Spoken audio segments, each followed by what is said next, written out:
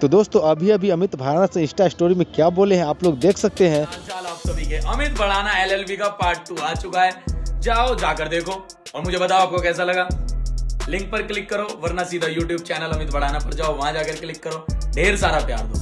इतना ज़्यादा कि प्यार की मरम्मत हो जाए। स्टोरी पर व्हाट्सएप स्टोरी पर आप सभी के रिएक्शंस देखना चाहता हूँ। तो जब आप अपने दोस्तों के साथ परिवार के साथ वीडियो को शेयर करें फ़िल्म को शेयर करें तो मुझे ज़रूर बताएँ कि आपको कैसी लगी। मेरे लिए बहुत मायने रखता है तो दोस्तों, अभी तक आप लोग अमित भाड़ा एल पार्ट टू नहीं देखे तो जाकर देखिए और जितना ज़्यादा से ज़्यादा हो सके वीडियो को ज़रूर शेयर कीजिएगा, क्योंकि अमित भराना सर इस वीडियो को बनाने में बहुत ज़्यादा मेहनत की है। तो दोस्तों, ये था छोटा सा अपडेट। अगर मेरा मेहनत भी अगर आप लोगों को पसंद आया तो वीडियो को लाइक और चैनल को सब्सक्राइब करना मत भूलिएगा।